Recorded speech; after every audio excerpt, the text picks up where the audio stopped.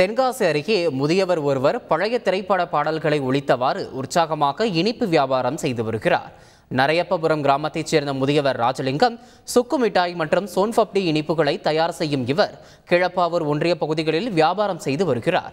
நாற்பத்தோரு ஆண்டுகளாக தள்ளு வண்டிகையில் வியாபாரம் செய்து வரும் இவர் நாள்தோறும் எம்ஜிஆர் சிவாஜி ஜெமினி கணேசன் உள்ளிட்டோரின் பாடல்களை வாகனத்தில் ஒழிக்கச் செய்து அப்பகுதியில் பழைய நினைவுகளை பகிர்ந்து வருகிறார்.